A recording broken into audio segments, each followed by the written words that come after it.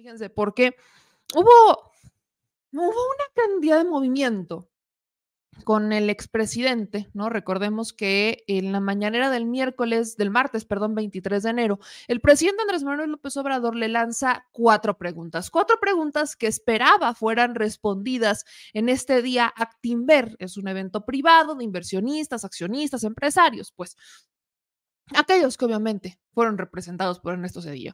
Entonces, pues bien, este día llega y una vez que el presidente López Obrador, de hecho, lanza estas cuatro preguntas, en la página oficial donde habían anunciado que estaba este evento, que era una convocatoria, de hecho era una convocatoria, pues aquí, o sea, no voy a decir que abierta, porque no, no era una convocatoria abierta, pero era un evento privado que pues tú tenías que registrarte si querías asistir, ¿no? Aquí está, la, de hecho, la página.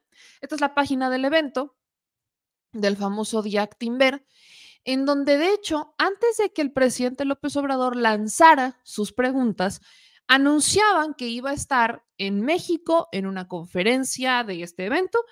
Ernesto Cedillo y Aznar, ¿no? Expresidente de México y expresidente de España.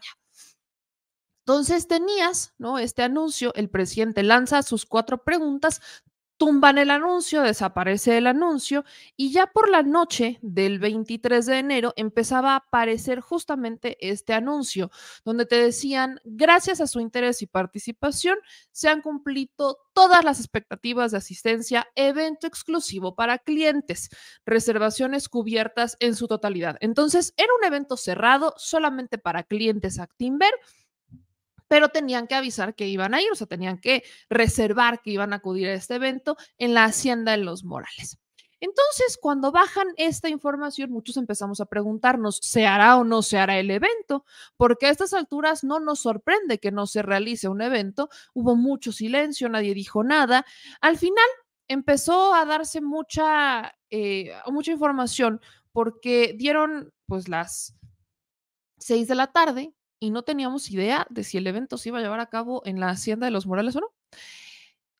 A eso de las seis y media empezamos a buscar información y a mí me dicen o nos dicen que Ernesto Cedillo no estaba en la Hacienda de los Morales, que en la Hacienda de los Morales solamente había una pantalla, una pantalla en la, este, pues en el patio, en el jardín, y que no había nadie, no había ruido, todo estaba muy callado, muy silencioso, ni siquiera para pensar que había un evento fuera del ritmo normal de la Hacienda de los Morales, que es un restaurante al que pueden ir como comensales y demás. Entonces, estábamos en ese estire y afloje de si estaba o no. Empiezan a, este, pues a, a correr versiones de que Ernesto Cedillo estaba encerrado en la eh, torre o en la torre Actimber en Santa Fe. De hecho, alguien dentro del evento nos decía eso, que supuestamente ahí estaba Ernesto Cedillo, estaba encerrado. ¿Por qué? Porque solamente se veía pues una, una pantalla en la Hacienda de los Morales, dando a entender que quizás solamente en Santa Fe pues fue un evento exclusivo para unos cuantos. Ahí se encerraron, todo se quedó pues en esas cuatro paredes y solamente para aquellos que quizás nos hubieran entrado del cambio, pues se puso una pantalla en la Hacienda de los Morales. Pero cuando acaba el evento, de hecho nos empezaron a mandar fotos y empezaron a circular fotos de al interior del evento y eh, empezamos a ver fotografías de que pues sí podría estar, podría no estar, qué onda. Luego vemos que justo, y aquí les voy a empezar unas de las fotografías que de hecho nos empiezan a circular, que empiezan a mandarnos, y una de ellas es esta, ¿no? Aquí está una de estas fotos en donde pues alcanzamos a ver quiénes aparecen ahí. Ahí está el expresidente Cedillo, ahí está también Aznar y también está Leo Zuckerman. Eh, Leo Zuckerman conduce el evento y así empezamos a recibir pues una serie de fotos, de material de alguien, o sea, una persona que nos informó estaba dentro del evento. Ya después, terminando, conforme fueron pasando los minutos y demás, conforme se acerca la hora en la que termina el evento, pues nos vamos enterando que sí, sí estaba Ernesto Cedillo en la Hacienda de los Morales, en el lugar planeado en donde se supone que iba a estar todo el tiempo, pero que pues sí, no, o sea, era un evento completamente cerrado y era un evento donde pues solamente iban a poder entrar los que, este, pues los que hubieran pagado y demás. La Hacienda de los Morales es un espacio amplio, es un espacio grande, y en ese espacio, pues no solamente estuvieron presentes estos personajes, ¿no? Hubo inversionistas, hubo de, todo. Si no estoy mal, les voy a empezar a pasar otras fotografías de algunos otros asistentes a este día, Actimber. Si no estoy mal, este que está aquí es Ríos Peter. Si no estoy mal, ahora sí que si mi ojo de buen cubero no me falla. Si no estoy mal, él es Ríos Peter. Si no, no, no estoy diciendo que sea porque son las fotografías que empezaron a circular, nos empezaron a llegar todas estas imágenes. Hay una en particular de un personaje pues, que ese sí ya lo, conocemos bastante bien. A ese sí no, no, no, no creo equivocarme en que sí sea Jorge Castañeda, ¿no? Aquí aparece también este agradable sujeto. Y ahí están todos estos personajes en el día Timber. Luego nos eh, llega otro material, nos llega un video en el que ya se ve la salida y es un video que empieza a circular pues por todas las redes sociales, como se ve pues el tráfico ahí en, en esta zona de Polanco en el que pues sí, ahí estaba Ernesto Cedillo y Ernesto Cedillo salió completamente resguardado, ¿no? Ernesto Cedillo le fue a dar la cara a aquellos personajes a los que realmente representó, ¿no? Le fue a dar la cara a Ernesto Cedillo pues a, los empresarios, a los inversionistas, a ellos fue a los que les dio la cara Ernesto Cedillo. No, Ernesto Cedillo no le fue a dar la cara a aquellos que pues que estamos pagando la deuda del Jovaporoa, ¿cómo va usted a creer? Ernesto Cedillo no gobernó para ese pueblo, Ernesto Cedillo solamente gobernó para el otro pueblo, el que se salvó con el rescate bancario, el que salvó sus bienes, el que salvó sus intereses, ese pueblo que Ernesto Cedillo pues realmente representó no a los otros millones de mexicanos que se quedaron embarcados y que pasaron muy malos momentos con las pésimas decisiones de los economistas, como Ernesto Cedillo. Pero es en ese mismo evento también que logramos conseguir un audio, logramos conseguir un audio de lo que dijo un poco, lo que dice un poco Ernesto Cedillo y eh, la conducción incluso que se hace Ernesto Cedillo y Leo Zuckerman porque parte de lo que dijo Ernesto Cedillo en el evento es que hace un llamado a defender la democracia, al señalar que no se tiene la responsabilidad de protestar por las fallas. Dice, no podemos tener seguidores de culto, fanáticos o retrógradas. De hecho, menciona Ernesto Cedillo, políticos que no entienden e insultan le dicen a otro neoliberal. El propio Ernesto Cedillo acepta que neoliberal es un insulto. ¿Se dan cuenta? Ernesto Cedillo literal menciona que políticos que no entienden e insultan le dicen a otro neoliberal. Como si esa no fuera la política que él implementó, como si no se pudiera definir la política de Ernesto Cedillo, de Miguel de la Madrid, de Salinas, de Gortari, como una política neoliberal.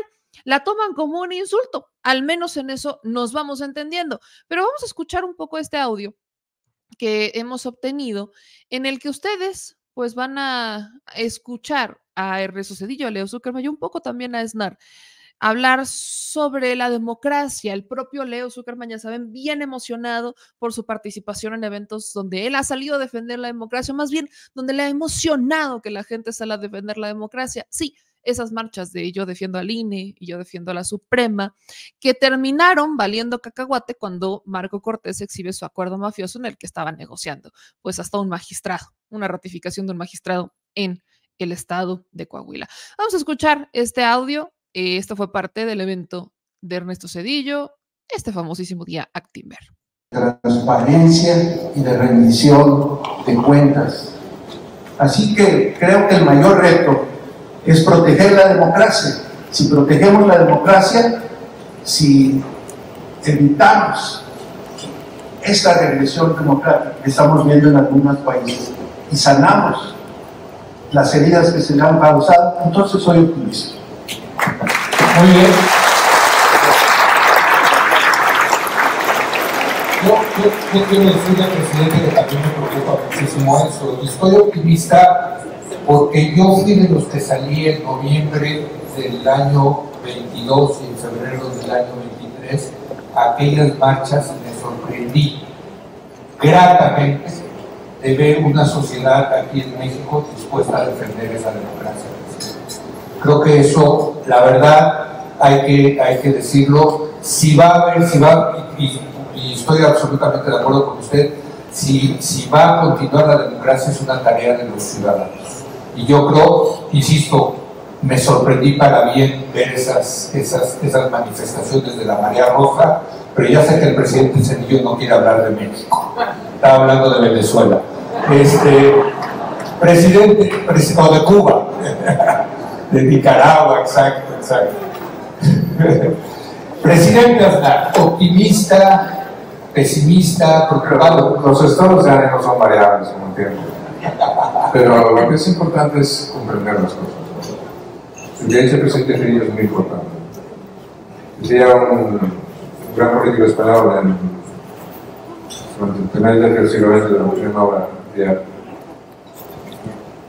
el destino de España dependerá de que los españoles dejen de ser espectadores de su propia situación. Pero yo creo que el futuro de México dependerá de que los mexicanos no sean espectadores de su propia situación, protagonistas, actores de su propia y de futuro. Y para eso, y en, España también, y para eso, pasar de ser actores a ser protagonistas es un ejercicio de responsabilidad. Yo quiero decir, lo más importante que me parece desde el punto de vista del ejercicio de liderazgo, del liderazgo de los que tienen la responsabilidad actual de los gobiernos y del liderazgo político histórico moral que podemos tener los que hemos tenido, es tratar de comprender las cosas. Si no se trata de comprender las cosas, es muy difícil ayudar a resolver. Y hoy uno de los, eh, problemas que tiene el liderazgo en el mundo de hoy es que los líderes políticos dedican muy poco tiempo a intentar comprender las cosas. Y al final un liderazgo político consiste en tener una memoria histórica del pasado e intentar planear un futuro posible con los instrumentos del presente. Ese es el liderazgo político. Pero tú tienes que tener una idea de la trayectoria histórica de tu país y tienes que tener una idea de lo que quieres para tu país. Y eso, eso, eso hoy, desgraciadamente, en el mundo de hoy, pues eh, no existe en muchos líderes políticos, desgraciadamente. Que dicho de una manera más llana, no tienen ni remota idea de la trayectoria histórica de muchos países, de por qué se producen muchos de los problemas históricamente que tienen ahora, ni tienen remota idea de cómo se pueden organizar las cosas en un futuro, ni dedican un minuto a entenderlo, a intentar entender lo que está pasando hoy en el mundo. Pero hay una cosa que puede prevalecer sobre todo eso, y es el deseo, la fuerza, el anhelo, la capacidad, lo mejor que tiene el ser humano es el deseo de ser libre. Y el deseo de ser libre sí que me hace ser optimista, porque el optimismo sí que solamente puede estar basado en la libertad. Y ser libre y ser un luchador por la libertad es lo mejor a lo que me puedo dedicar y yo creo que los que me podemos dedicar mucho durante mucho tiempo y mucho más. Muy bien, muy bien.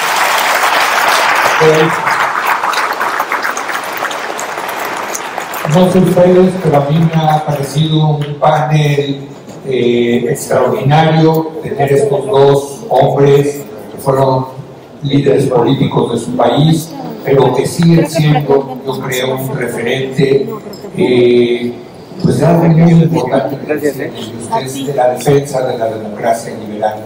Yo se los agradezco muchísimo, presidente Aznar, presidente Cedillo, que hayan estado el día de hoy con nosotros en Activer. Muchas gracias y les pido un enorme aplauso para este grupo. Ahí está ese audio. O sea, sé que quizás la parte de Aznar requiere un poco de, subtítulos en algunas partes, pero básicamente Aznar está diciendo que hay una falta de memoria histórica que se debería de tener como una claridad de lo que se quiere, de cuáles son los problemas que se requieren solucionar, de dónde vienen, cómo se originaron. Ah. Sí, aunque usted no lo crea, más o menos eso es lo que dice Aznar. Aznar, expresidente de España. Eh, los españoles no generalizo, fíjense, porque hay españoles bien luchadores, bien buena onda, pero hay ciertos españoles, como Aznar, que siguen con esas lógicas muy eh, colonizadoras, ¿no?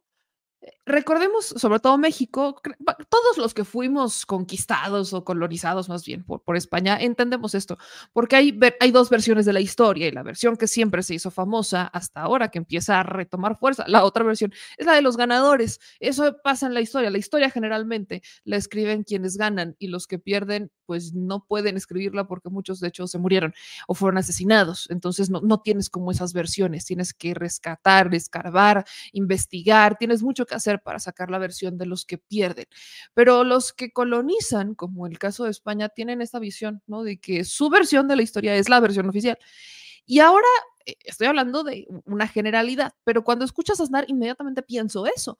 Pienso que está hablando de esa época en la que ellos podían escribir la historia, porque me parece muy curioso que Aznar hable de cómo, o que en este, justo en este panel donde está Cedillo, donde está Leo Zuckerman, hablen de cómo hay que recordar la historia, rescatar esta memoria y cómo es que no hay que olvidar, ¿no? De dónde se originaron los problemas. Enfrente de Cedillo, privatizó ferrocarriles de México, hizo públicas las deudas privadas, Hoy las seguimos debiendo. Créanme, tenemos muy fresco de dónde salieron muchos de los problemas que hoy atraviesa México. Tan, tan fresco que lo que me parece impresionante es que Aznar diga eso y que se les haga como que se les olvidó que ellos han originado muchos de los problemas que no solo México, sino también España están atravesando. Fue en la época de Aznar, por cierto, en la que se privatizó su empresa pública energética, como nuestra CFE, para que me entiendan. Él la privatiza y en un esquema muy similar al de Felipe Calderón, Aznar eh, termina haciendo tratos muy interesantes con esta empresa que él privatiza, se vuelve privada. Bueno, el año pasado antepasado y antepasado, a España le hubiera encantado tener una empresa pública energética para poder mitigar el impacto de la guerra, el impacto de la crisis, el impacto de el alza en los combustibles, del gas y demás, para poder bajar los costos de la electricidad en los hogares de los españoles. Les hubiera encantado, pero no, Aznar privatizó esa empresa. Me parece muy interesante que digan justamente que ellos eh, son los que resolvieron problemas o que saque como esta anécdota de que no se nos puede olvidar de dónde viene la historia y que hay que recordar de dónde salieron los problemas. Pues eso, que eso es lo que hacemos. Nada más que no les gusta la versión que se difunde, no les gusta la versión de la memoria histórica que tiene el pueblo. Por eso me parece interesante que justo, ¿no? ese acedillo el que retoma o aplaude o pertenece a este panel, porque pues si nos vamos con esa narrativa de Aznar, obviamente los que estaban ahí sentados se acuerdan de una parte muy bonita de la historia, ¿no? Eh, de la historia del Fobaproa, pues por supuesto que la tienen muy fresca y, se la agradecen a Cedillo, la toman realmente como si hubiera sido la solución, la panacea a todos sus problemas en el famoso error de diciembre, ¿no? No, no, no están muy de acuerdo con eso. Pero si le preguntas al, 99% de los mexicanos que la padecieron, ayer lo platicábamos, muchos se suicidaron. Otros tantos se fueron del país porque no tenían para vivir, no les alcanzaba. Otros tantos rascándose como pudieron, como, como podían para dar de comer en sus casas. De verdad que la historia siempre tiene dos lados y lamentablemente estos personajes solamente quieren que se recuerde la que al menos ellos cuentan, pero no la que el pueblo padeció. Me parece muy interesante que en estos tiempos hablen de recordar la historia, cuando ellos fueron parte de los problemas justamente que hoy se busca mitigar de ese episodio de la historia. Dice Paz Escribano, perdón, cuando se es ratero no importa la nacionalidad, los hermana el delito. Y por eso andan junto con pegado, ¿no? Por eso están siempre muy juntitos, pegaditos, ¿no? Ahí están eh, muy contentos, al menos eh, Aznar Cedillo. Calderón era parte de esa triada, pero hoy no apareció ahí Calderón, fíjense, la triada hubiera sido perfecta, ¿no? Al menos para ese lado de la historia. El que desata en la guerra contra el narco, violencia por doquier, alza en los asesinatos por todos lados, el que nos endeuda, y bueno, ya sabemos, es Cedillo, y Aznar, el que pone el ejemplo para que Calderón y Cedillo privaticen, porque además, sobre todo Aznar le toca, o sea, le toca a Calderón, para que privaticen este, las empresas públicas, energéticas y demás, pues ahí saquen muy buenos negocios. De verdad que de estos tres simplemente no hacemos uno. Obviamente, de, por el caso de Leo Zuckerman, simplemente no me sorprende que él esté ahí. Obviamente, al ser un, pues un comunicador que defiende la política neoliberal, pues entendemos, entendemos porque él es el que está este, conduciendo, siendo el, maestro de ceremonias.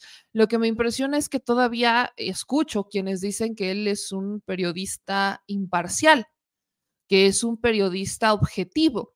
Si vieron el versus del día de ayer, creo que ya habremos agotado el punto de que no existe objetividad en el periodismo ni en la comunicación, porque somos sujetos, no podemos hablar de objetividad si no somos objetos. Entonces, nada más partiendo desde ese principio, simplemente no existe una objetividad en el periodismo.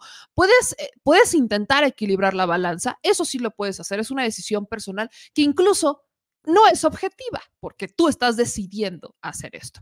Entonces, eh, me parece interesante que sea Leo Zuckerman, que todavía se vende desde esta perspectiva como un, em, pues como un personaje objetivo, cuando claramente no lo es.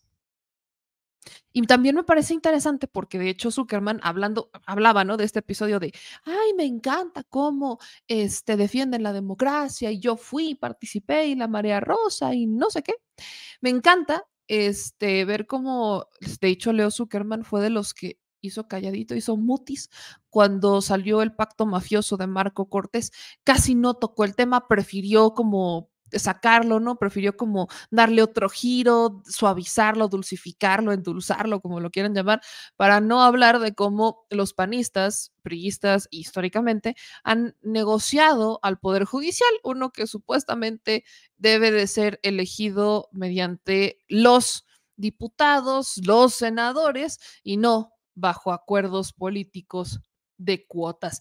Entonces, bueno, aquí estamos para, bien dice Aznar, rescatar esta memoria y acordarnos de dónde vienen los problemas.